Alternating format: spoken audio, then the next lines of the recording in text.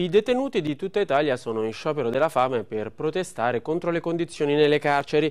Il sovraffollamento c'è anche nella nostra regione che ospita cinque strutture in attesa che parte il cantiere per il nuovo penitenziario di San Vito al Tagliamento. Eleonora Mastromarino. Dal coroneo arriva il rumore degli oggetti metallici che battono sulle sbarre delle celle. I detenuti del carcere triestino hanno aderito allo sciopero dei pasti indetto dai radicali, rinunciando al cibo per mandare un messaggio al governo.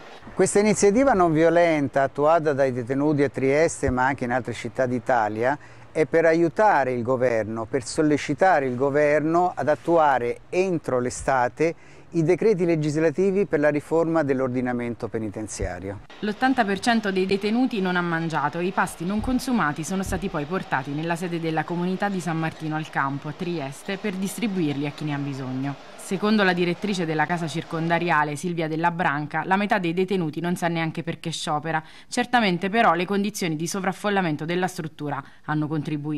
Nel capoluogo di regione dovrebbero esserci un massimo di 149 persone e invece ce ne sono 187. Situazione comune in tutti e cinque i penitenziari del Friuli Venezia Giulia. Infatti in regione ci sono 641 detenuti a fronte di una capienza massima di 476. Abbiamo una concezione cimiteriale degli istituti di pena, spiega la direttrice della Branca. Non ci dovremmo limitare a contare i posti letto, ha aggiunto, ma dovremmo considerare la capacità di fornire attività trattamentali, la cui offerta si riduce se il numero dei detenuti e del personale, oltre che gli spazi, non sono adeguati.